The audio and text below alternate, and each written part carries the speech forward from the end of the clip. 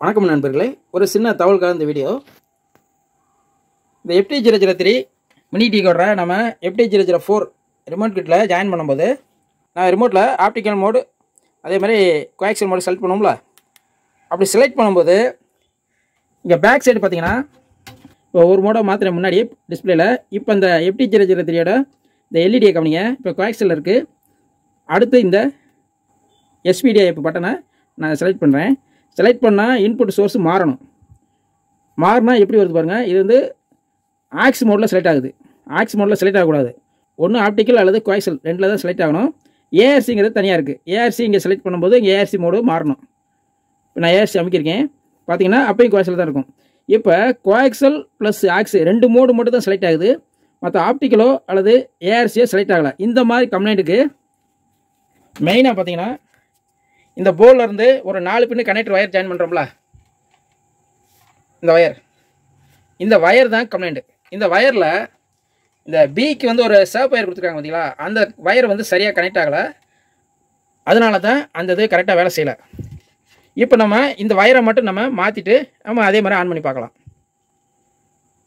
Of பண்ணிக்கலாம்.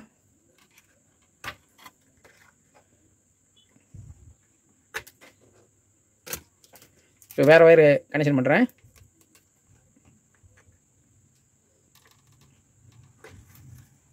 அதை கொண்டு வந்து நேராக அந்த பொருளில் இந்த நாலு பின் கனெக்டில் நம்ம கனெக்ஷன் பண்ணிக்கலாம். கனெக்ஷன் பண்ணியாச்சு. இப்போ ஆன் பண்ணிக்கலாம். ஆன் பண்ணியாச்சு. இப்போ பாருங்கள் இப்போ இந்த ரிமோட்டை நான் அமுக்கிறேன் பாருங்கள் இப்போ அமுக்கணுன்னு பாருங்கள் ஆப்டிக்கல் அடுத்து கோஆக்சல் இப்போ ஏஆர்சிக்கு பொறுத்தளவுக்கு இந்த பட்டன் அமுக்கணும் இப்போ அமுக்கிறேன் பாருங்கள் ஏஆர்சி மூலம் கரெக்டாக வேலை செய்யுது. இப்போ எதுக்காக இந்த வீடியோவில் நான் சொல்கிறேன்னா இந்த மாதிரி கம்ப்ளைண்ட் உங்களுக்கு இருந்துச்சுன்னா இந்த வயரை மொதல் செக் பண்ணுங்கள் ஏபி அப்படின்னு ரெண்டு வயர் கொடுத்துருப்பாங்க.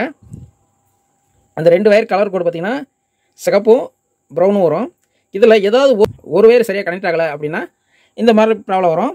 மெயினாக பார்த்தீங்கன்னா இந்த வயர் நம்ம கரெக்டாக வந்து கனெக்ட் ஆகலைனாவே டிஸ்பிளேல இந்த FT zero zero three play ஆகும்போது டால்பியா டிடிஎஸ்ன்னு நம்மளுக்கு டிஸ்பிளேலே காட்டாது. அந்த மாதிரி ப்ராப்ளம் வரும். அதனால் இந்த கம்ப்ளைண்ட்டுக்கு நான் இந்த வயரை மாற்றினேன் சரியாயிடுச்சு.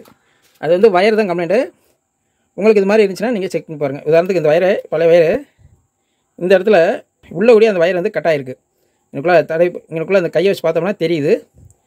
அந்த சிகப்பு வயர் தான் காரணம். அவ்வளோதான் நண்பர்களே.